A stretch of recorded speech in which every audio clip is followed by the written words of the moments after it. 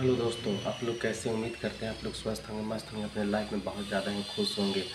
तो आज हम बनाने जा रहे हैं चने का सब्ज़ी, जो कैसे बनता है, देसी चने का सब्ज़ी कैसे बनता है, वो भी विस्तार में हम आपको दिखाने जा रहे हैं। तो वीडियो में आगे बढ़ने से पहले, जो हमारे चैनल पर नए हैं, वीडियो को लाइक करें सब्सक्राइब करें शेयर करें बेल आइकन दबाना ना भूलें, ताकि नोटिफिकेशन में नया नया वीडियो आपको मिलता ही रहे। एक भाई ने हमें ये बोला था कि, भाई, आप लोग का वीडियो वायरल नहीं हो रहा तो आप लोग क्यों बनाते तो देखिए, हिम्मत। हिम्मत मेरा है कि हम वो करेंगे जो कोई नहीं करता है। हमें हमें हिम्मत है, जुनून है। तो जुनून और हिम्मत को कभी हारने नहीं देना है। अगर आपके पास हिम्मत है और टारगेट बना ले कि हमको ये लक्ष्य पूरा करना है तो दुनिया का कोई ताकत नहीं रोक सकता है। आगे बढ़ने वाले को अगर एक सहयोगी मिल जाता है कि, भाई तुम ये काम कर, हम सपोर्ट करेंगे। तो बस इसी में हिम्मत आदमी का मनोबल जो होता है, हाई होता है। तो चलिए, बातें तो होते रहेगी। हिम्मत मर्दा मदद खुदा। अगर आप हिम्मत करते हो, तभी आगे बढ़ते हो। नो रिस्क, नो गेम हर एक चीज़ में रिस्क है। कोई ऐसा चीज़ नहीं जिसमें रिस्क नहीं। आप रोज़ी रोज़गार के लिए कहें, दौड़ते उसमें भी रिस्क है। दुकान खोलते उसमें भी रिस्क है। कोई बिज़नेस करते उसमें भी रिस्क है। तो नो रिस्क, नो गेम। पहले आप रिस्क नहीं लोगे तो गेम कैसे करोगे? तो वीडियो में आगे बढ़ने से पहले आपको एक चीज़ और बता दें। भाई, आप लोग का सपोर्ट बनते रहना चाहिए। अब बना है, अब मिलते रहना चाहिए। इस भाई को थोड़ा सा आगे बढ़ाइए और फिर देखिए कमाल धमाल और बवाल। तो चने का सब्ज़ी कैसे बनाते हैं? देसी चने का, वो भी हम आपको दिखा, आप लोग खाते होंगे, ये कॉमन है, लेकिन किस स्टाइल में हम बनाते हैं, वो भी आपको संक्षिप्त रूप से हम दिखा रहे हैं। तो चलिए हम दिखाते हैं। तो दोस्तों, देखिए, मेरा लहसुन साफ़ हो चुका है इसको हम तो पानी में पाँच मिनट के लिए फूलने डाल देना, देखिए इसको पाँच मिनट के लिए फूलने डाल ये फूल जाएगा, इसके बाद छिलका आप रगड़ दोगे, अपने आप उतर जाएगा रगड़ने के बाद। तो दोस्तों देख सकते हैं हमने पाँच बड़े बड़े प्याज लिए आज हम मटन स्टाइल में बनाने जा रहे हैं। जो कि खाएँगे लोग तो कहेंगे कि हाँ भाई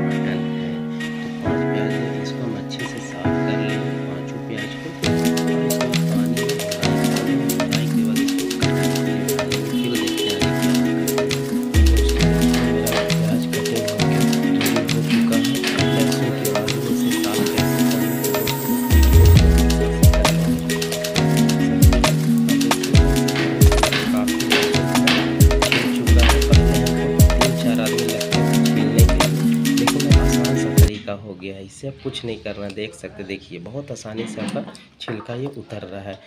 बस और कुछ नहीं करना है और इसको साफ़ करने के बाद हम दिखाते हैं क्या करेंगे। इसमें पाँच फुट लहसुन होगा, अभी इसको साफ़ करेंगे और छीलने का आपको सरल तरीका तो बताया, वो तरीका आज भी आपको बता दें कि छीला कैसे जाएगा। तो दोस्तों, मेरा प्याज अब साफ़ होके हो चुका है, रेडी। अब इसको हम कटिंग कर लेते हैं। कटिंग करने के बाद दिखाते हैं हम क्या करेंगे, देखिए। प्याज का ये भाग भी हमने निकाल लिया है, जो कि ज़रूरी होता है। ये भाग तो खाना नहीं चाहिए, गैस का सबसे बड़ा कारण यही होता है।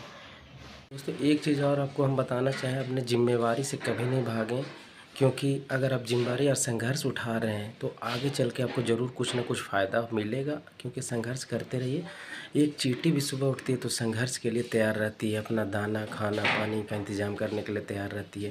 तो इसी प्रकार दोस्तों, मेरा जो अभी तक उम्र है, लाइफ टाइम अभी हम संघर्ष कर रहे हैं। सपोर्ट बहुत कम लोग करते हैं यार। सपोर्ट करने वाले कम लोग होते हैं कि आज भाई आपको सपोर्ट कर रहे हैं, आप आगे जाओ।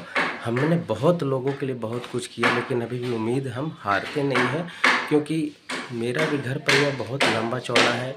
हमें भी घर से धन दौलत के लिए कुछ न कुछ करके हटाया गया है। तो चलिए दोस्तों, ये मायने नहीं रखता, आप संघर्ष करते रहिए। भगवान आपको ज़रूर एक दिन आगे ले जाएँगे। उम्मीद कभी मत छोड़िए। और जो लोग उम्मीद छोड़ते हैं, वो कायर कहलाते हैं। कायर की ज़िंदगी जीने से अच्छा है कि यार संघर्ष करो। आगे बढ़ो। आप पढ़ाई में अगर रुचि रखते हो तो पढ़ो।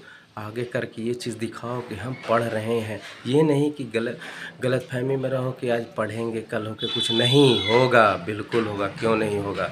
जो संघर्ष करता वही आगे बढ़ता हम यार, हम भी अभी तक संघर्ष किए हैं। मेरी माँ घर में अकेले रहती हम यहाँ जो भी समझिए, बहुत कुछ कर रहे हैं। लेकिन ये नहीं कि हम अपने जिम्मेवारी से कभी पीछे हटें या कभी भागे हैं। खैर, उतना तो होते रहता है। चलिए और आगे दिखाते हम क्या करेंगे, कैसे सब्ज़ी बनाएँगे।